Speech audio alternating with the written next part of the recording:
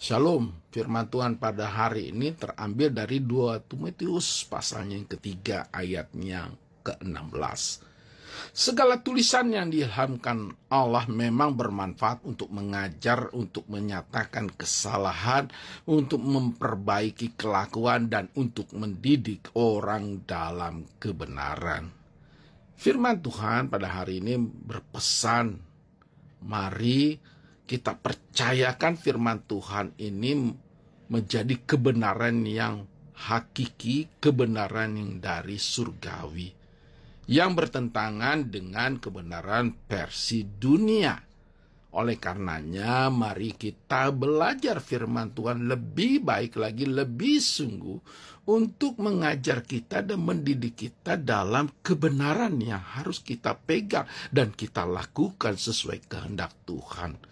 Firman Tuhan itu begitu luar biasa karena bisa memperbaiki kelakuan kita kalau kita mau belajar akan firman Tuhan dan mau diperbaiki dalam kehidupan kita.